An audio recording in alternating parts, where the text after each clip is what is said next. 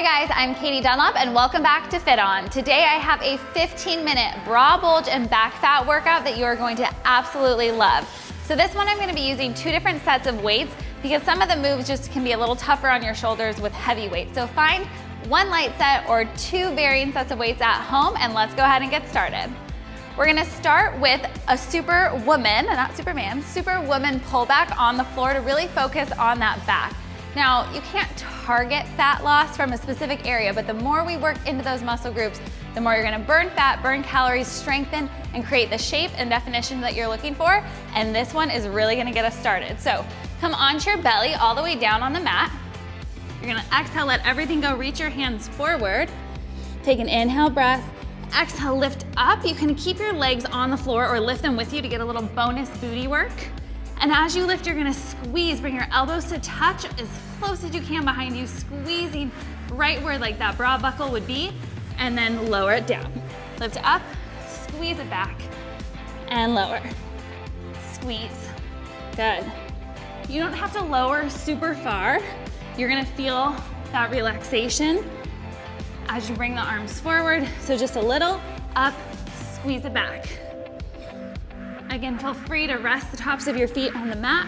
This is really about focusing on your lats. Squeeze it. Good. Lift. And breathe. Make sure you take that little secondary motion, that pause at the top before you lower. Can you feel it already, right? Woo. We have eight, seven, six, five, four, three, two, hold up on one, hold it, squeeze it back, lift. Tiny pulses up, squeeze, eight, seven, six, five, four, three, two, and one. Pause, let it go. Find a quick child's pose, just relaxing through that back. Really making sure we're taking the time to balance between those strengthening moves and really stretching it out. Especially that back can tend to be a little bit tight. Just let it go for a moment. Now we're gonna go all the way to standing. I want you to come to the end of your mat and we're gonna walk it out. So working more into the chest, more of that bra bulge area. You're gonna walk it all the way out to a high plank. If this is too much, you can drop onto your knees, but I want you to start in that high plank so that you can get the distance between your feet, your knees, and your wrists. Then if you wanna drop to the knees, you can bring them together. Keep your core tight, keep the same posture. Turn your thumbs in just a tiny bit. You're gonna inhale, lower toward the ground. Exhale, push away. As you push away, you're gonna reach up with your right arm, bring it down, lower, exhale, reach left. Exhale, good, up, lower, press, lift. You got it? So you make those little adjustments so you can find your balance and reach. We're working in the chest as we lower and press away in that push-up, and then getting into the back, you reach it out.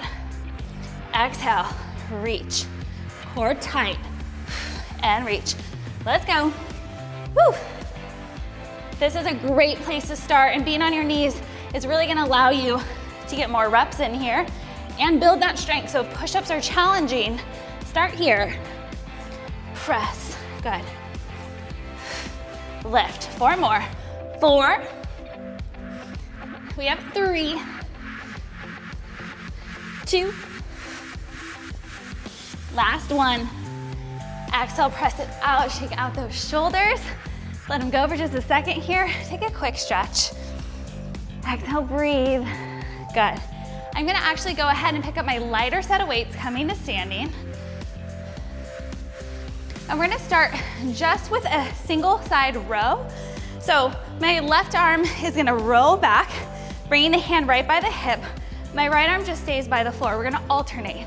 So you're gonna switch, switch. Good. Now the key here, you gotta glide that arm right by your side body and squeeze it. I want you to pinch and squeeze as you drive the elbow back. Squeeze.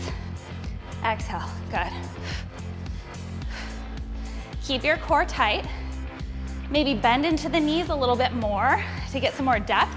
And the more you hinge forward toward a flat tabletop back, the more you're really gonna work pulling back. Good. Up and switch. Breathe. How are we doing? You got this?